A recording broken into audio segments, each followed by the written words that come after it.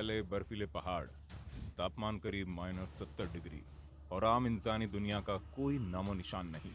लेकिन फिर भी वहाँ हरे खाकी वर्दी, सफ़ेद जैकेट्स और माथे पर तिरंगे के निशान वाली टोपी पहने हुए भारतीय सेना के जवान 24 घंटे इतनी सर्दी और बर्फ़ में देश की सेवा के लिए खुद को लगाए रहते हैं।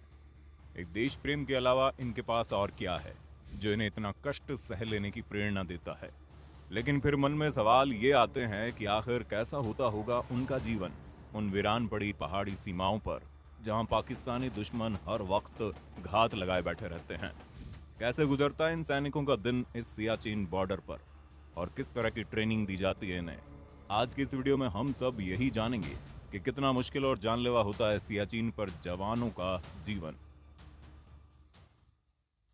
दोस्तों, सबसे पहले आपको बता दें कि आज हम जिस सियाचिन ग्लेशियर की बात करने जा रहे हैं, वो दुनिया का सबसे ऊँचा युद्ध क्षेत्र है। अब आप इस बात से अंदाज़ा लगा सकते हैं कि अगर ये इतना ऊँचा है तो यहाँ की परिस्थितियाँ अपने आप में कितने कठिन होती होंगी। इतने कठिन कि सर्दी से अपने बदन को बचाते हुए ये जवान गोलियों से मरने के बजाय ऑक्सीजन की कमी से मर जाते हैं। जैसा कि हमने आपको बताया कि ये सबसे ऊँचा युद्ध क्षेत्र है, इसलिए यहाँ पर सांस लेने के लिए ऑक्सीजन की भारी कमी होती है। यहाँ जो जवान घूमते हैं, वो खुद को हर वक्त इतना चौकन्ना किए रहते हैं कि कभी भी दुश्मन के खिलाफ हमला बोलते हुए वो बर्फ़, सर्दी या ऑक्सीजन की कमी जैसी समस्याओं से डरे ना। अब आप सोचेंगे, ये जगह जब जीवन के लिए इतनी विषम है तो हमारे जवान यहाँ क्यों जाते हैं? तो इसका जवाब सिर्फ़ इतना है कि ये हिस्सा भी भारत का एक अभिन्न अंग है, जिस पर पाकिस्तान आए दिन अपने अधिकार का झूठा दावा पेश करते हुए घुसपैठ करता रहता है। इसलिए इस बर्फीले रेगिस्तान में देश के जवानों की तैनाती और उनके वहाँ के सर्वाइवल के लिए सरकार हर दिन करीब चार से आठ करोड़ रुपए खर्च करती है। आप इसी खर्च से अंदाज़ा लगा सकते हैं कि ये जगह देश की अभिन्नता के लिए कितनी ज़रूरी है। इतने कठिन परिस्थितियों के बावजूद इस जगह देश के करीब दस हज़ार जवान हमेशा तैनात रहते हैं। यहाँ ज़िंदगी कितनी मुश्किल है? इसे अगर एक आंकड़े के तौर पर देखें तो पिछले 30 सालों में हमारे आठ सौ छियालीस जवानों ने यहाँ की विषमताओं के कारण अपनी जान गंवा दी है। सियाचिन ग्लेशियर बीस हज़ार फीट की ऊंचाई पर है। यहाँ सैनिक एक साथ चलते हैं। समूह में चल रहे जवानों के पैर एक रस्सी से बंधे होते हैं, ताकि कोई साथी अगर गिर या फिसल जाए तो उस ग्रुप से अलग ना हो पाए।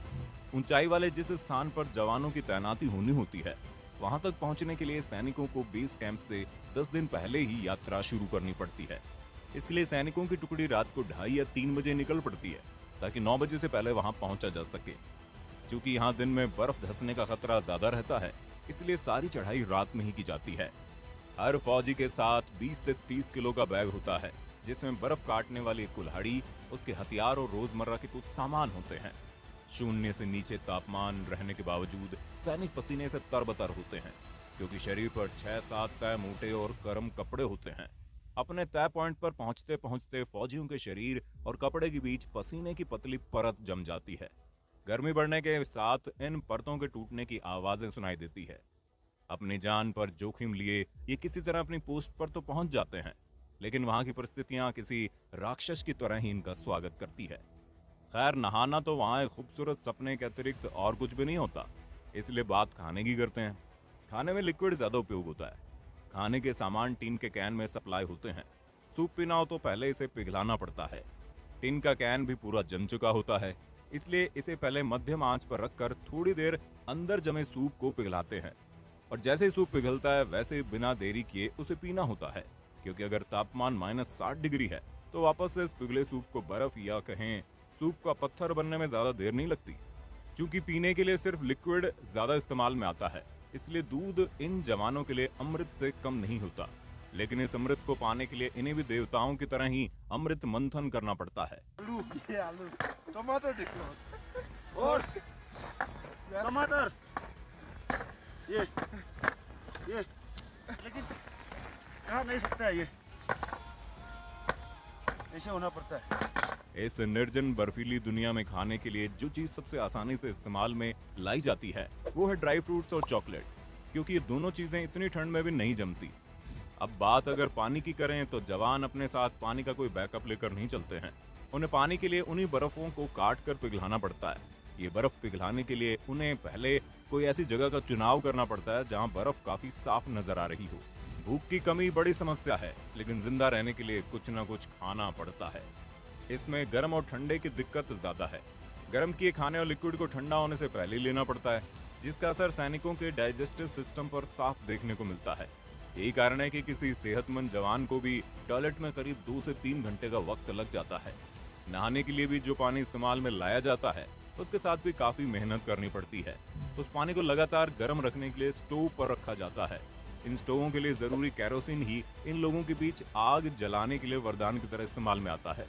और शायद केरोसिन को अगर यहाँ की लाइफलाइन कहा जाए तो बिल्कुल सही होगा।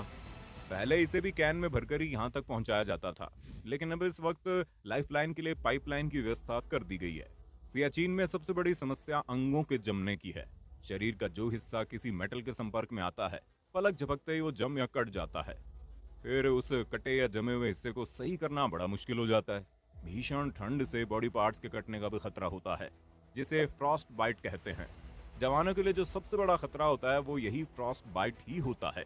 इसलिए उन्हें ऐसे कपड़े दिए जाते हैं, जिससे इस तरह की किसी भी समस्या से बचा जा सके। यहाँ जवानों के बेहोश होने की समस्या बहुत आम होती है। साथ ही उन्हें भारी सिर दर्द का भी सामना करना पड़ता है। जो जवान यहाँ बराबर डटे रहते हैं, उनमें शरीर का वज़न घटना, भूख की कमी, नींद का ना आना और याददाश्त के खोने की शिकायत आमतौर से देखी जाती है। उन्हें एक दूसरे से बात करने में भी काफ़ी समस्या होती है। क्योंकि जीप फंसने के कारण हकलाट की वजह से वो क्लियर ही नहीं बोल पाते। एक इंसान का जिन बेसिक चीज़ों के बिना कहीं पर रह पाना नामुमकिन होता है, ये जवान उन सभी समस्याओं को ताक पर रखते हुए, अपनी जान को जोखिम में डालते हुए, भूख प्यास से परे होते हुए, सिर्फ़ ये सोचते हैं कि उनके रहते अपने देश के उस हिस्से पर कभी भी तिरंगे के अलावा कोई और झंडा ना दिख जाए। इसलिए तो शायद वहाँ की बर्फ़ भी इस बात पर अभिमान करती होगी कि वो ऐसे देश प्रेमियों के पैरों तले आती है। जो सिर्फ़ अपने देश के विषय में सोचते हैं। आप इन सैनिकों के लिए दुआएँ और प्रार्थनाएँ कमेंट में लिख सकते हैं। आप भारतीय सैनिकों के इस देश प्रेम पर क्या सोचते हैं? हमें कमेंट में बताइए। अगर आज की वीडियो पसंद आई हो तो इसे लाइक करने के साथ